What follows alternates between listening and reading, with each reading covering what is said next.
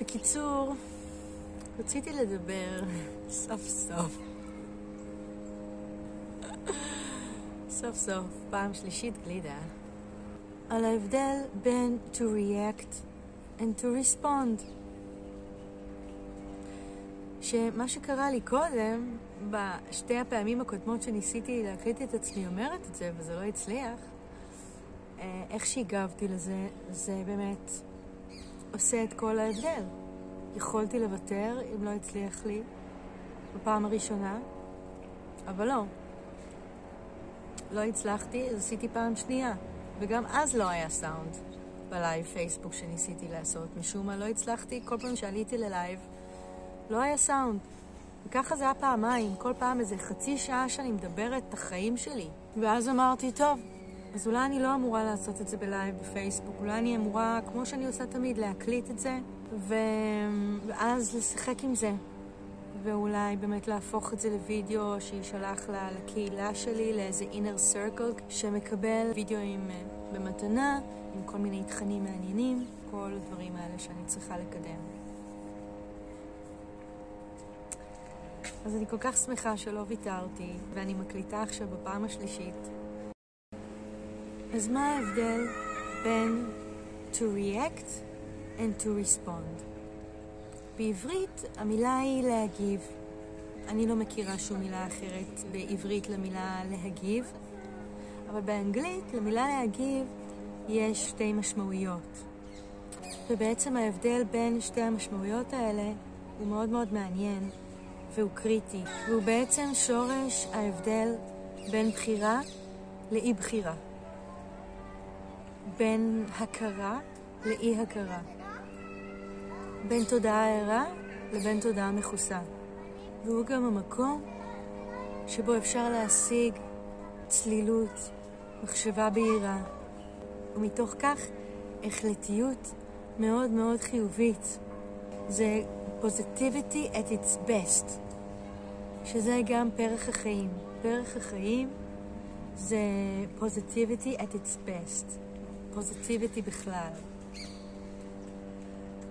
אז, אה, אז במשמעות הלועזית, react, האופן שבו אנחנו מגיבים לסיטואציה מסוימת, ואנחנו מגיבים לה ממקום אינסטינקטואלי, אינסטינקטיבי.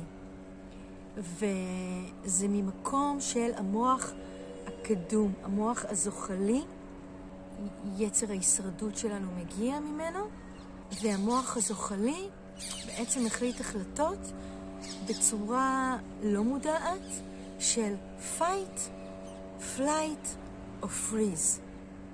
כן, אלה שלושה מנגנוני התנהגות שאנחנו מפעילים באופן לא מודע לרוב בחיינו, וזה הרגעים האלה שבהם אני מתפוצצת על הפקידה בדואר, על איזה משהו ממש ממש קטן שקרה, או מאבדת את הפוקוס שלי עם הילדים אה, וצורחת עליהם. או אם אני מאבדת איזה מחברת מאוד מאוד חשובה, עם דברים מאוד חשובים בפנים שאני צריכה.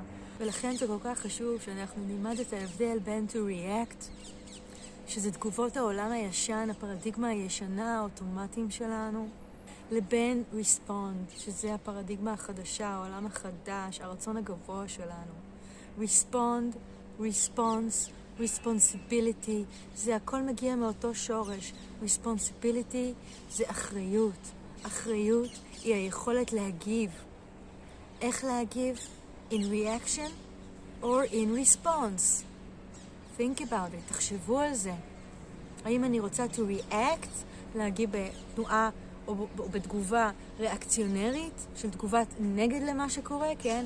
מישהו עודף אותי, אני נעדפת או עודפת חזרה, או שאני רוצה להגיב לפי ריספונס, לפי היכולת לקחת רגע צעד אחורה מהסיטואציה, לשקול את כל האפשרויות, רגע להתבונן, לנשום, לחשוב על זה, לשקול את כל האפשרויות, לראות כמה שיותר את התמונה המלאה, דרך כלים של אמפתיה וחמלה, שזה חיוני, במיוחד בסיטואציות שמתרגרות אותנו, שקשות לנו.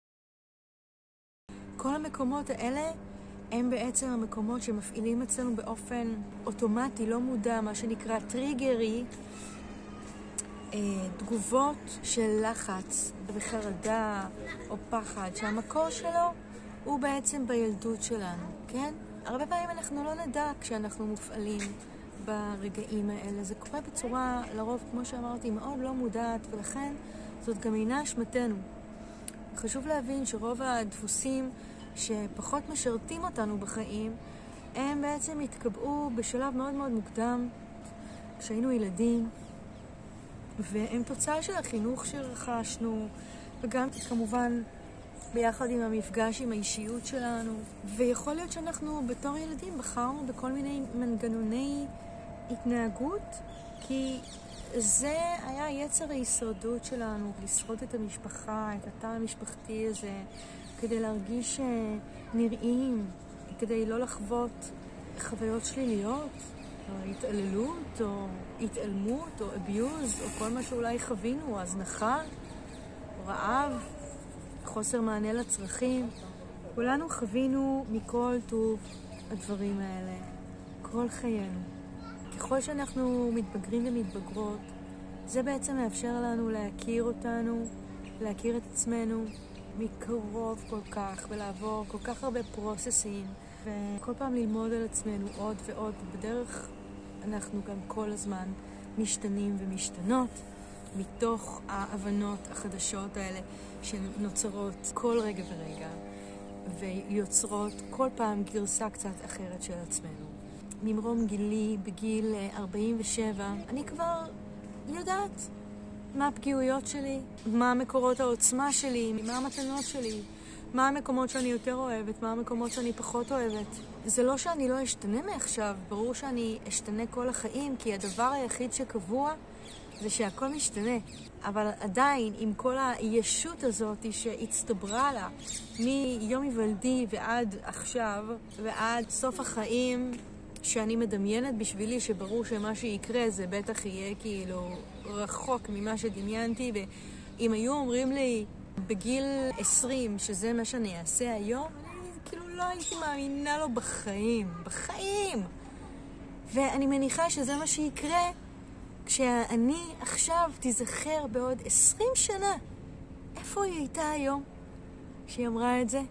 בגינת אברהם, בשישי לנובמבר, רגע לפני סוף 2020, איזה חיים עוד מצפים לנו? אנחנו עוד לא יכולים לדמיין את כל המתנות שיגיעו, את כל הניסים, את כל ההשראה והיצירה החדשה והמציאויות והאפשרויות החדשות. זה יהיה פשוט בטח inter fucking galactic, זה יהיה. אז לכן, בתקופה כל כך מכרעת, שבה מוטלת עלינו כל כך הרבה אחריות, ועם זאת יש לנו כל כך הרבה יכולות ואפשרויות וכלים וידע וקהילה וכל מה שאנחנו צריכים על פלנטה מדהימה שהיא playground מטורף עם צעצועים. אנחנו חיים וחיות על גן עדן. אתם מבינות את זה? אתם מבינים את זה? שאנחנו חיים, חיות בגן עדן? זה גן עדן. זה פשוט גן עדן כאן. ויום אחד אנחנו נתעורר וכל מה שאנחנו נראה זה בני אדם. כל מה שאנחנו נראה זה בני אדם ייחודיים, unique people. זה מה שאנחנו. אז ברור שלא כל דבר שקורה כאן אנחנו מתפעלים ממנו כרגע. אבל כל עוד אנחנו זוכרות לאיזה מציאות אני שייכת בליבי ובנפשי, איזה מציאות אני חולמת, איזה מציאות אני פועלת להשיג בכל רגע ורגע שלי כמיטב יכולתי. כשאני זוכרת את זה, שיש לי את התבנית המנטלית הזאת של הדבר הזה שאני חולמת ו- והוגה, ואני יודעת שהוא אפשרי, אז הוא קיים בעתיד שלי. זה, זה כמו ראיית עתיד. זה קיים כבר אי שם בעתיד, במרכאות, אבל זה קיים כבר בהוויה שלי. ובגלל שאנחנו חיים בעולם ה-3D, אז פשוט לוקח זמן לעשות את המניפסטציה, אבל הדבר הזה הוא קיים. אם אני רוצה את השגשוג הכלכלי המושלם, הוא יגיע. אם אני רוצה את המקצוע הכי מספק בעולם, הוא יגיע. אם אני רוצה את הזוגיות הכי מספקת בעולם, היא תגיע. צריך התמדה וסבלנות ונחישות וידיעה פנימית, לא אמונה, ידיעה פנימית שזה אפשרי. גם ברגעים שאני מאבדת אמונה, שאני נופלת לתדר נמוך, להזכיר לעצמי שהאסנס של הידיעה קיים. זה כמו שריר שהוא לפעמים נחלש, זה כמו שאם אני אסחוב תיק כבד, אז מתישהו אני ארצה להניח אותו, כי הוא כבד, אז אני רוצה שנייה להניח, אבל זה לא אומר שאני איבדתי את האמונה. זה אומר שהובלתי עכשיו איזשהו מהלך משמעותי, והוא גזל ממני קצת אנרגיות, איבדתי קצת אנרגיות, ואני צריכה רגע לעמוד בחוסר האנרגיה שלי כדי להיטען מחדש. זה לא אומר שאני ברגרסיה, זה לא אומר שאין לי את זה או שאיבדתי את זה. זה כל הזמן קיים. זה הציר המרכזי, זה, זאת הנקודה הסינגולרית. זה כל הזמן לחזור אליה, לחזור אליה, לחזור אליה, לחזור אליה, לחזור אליה, לחזור אליה. וככל שאנחנו עושות את זה יותר, אנחנו מחזקות את שריר ההוויה, כי כל פעם יש לנו קצת מזה. כי כל מה שצריך, כמו שאומרים בשמניזם, צריך קצת מזה. אז אני שומרת את המחמצת המנטלית הזאתי כל פעם שיהיה לי קצת. כל פעם שטיפה נחלשתי, טיפה יצאתי מאיזון, אני לוקחת רגע את המחמצת, מסניפה את זה רגע, חולבת את הרגע הזה, חולבת את המומנטום הזה, עושה לי איזה, איזה ריטואל של יצירת מציאות, של תפילה, של התכווננות, של זריעת כוונה, יוצאת לטבע, בבית, מטמינה משהו בעציץ, מכינה אוכל טעים, מכניסה את השמניזם, את הפגניזם לחיי היום-יום. תחפשו את הדרכים, למשל אליזבת זוהר, חברה שלי, היא מורה נהדרת לזה. אני אשאיר לינק אליה למטה. להבין שלהיות קוסם ומכשפה זה סקסי. זה חלק מהחיים שלנו. זה מה שנותן לחיים את טעם החיים, זה השובבות. זה אף פעם לא כדי לעשות משהו רע, זה רק כדי להיטיב ולעשות כיף ורוח שטות ויצירה וגאונות ווירדית. זה to carry the freak flag, להיות a happy weirdo, וכולנו כאלה, ולמצוא את הברבוריות של כל אחד מאיתנו, למצוא את היופי, הוא שם. כל אחד מאיתנו קיים יופי שלא יתואר, עולמות שלא יתוארו, וזה הכל במרחק נגיעה של לפתוח את זה ולאפשר את התיבת אוצרות, את היצירת מופת הזאת לצאת החוצה. לדאוג לקבל תמיכה מהקהילה שלכם, זה כל כך כל כך כל כך חשוב. לא להתמודד עם דברים לבד. זאת האחריות שלנו.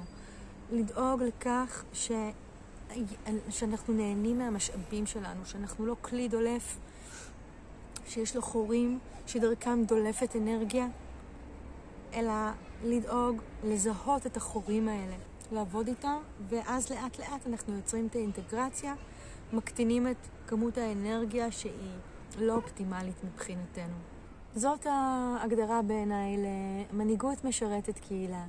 זה הרגע שבו אנחנו הופכים להיות מנהיגים ומנהיגות משרתי קהילה. ברגע שאתה מיטיב עם עצמך ומיטיב עם הסביבה שלך כמיטב יכולתך, אז זה הרגע שאת מנהיגה משרתת קהילה. את הדמות שמסתכלים עליה.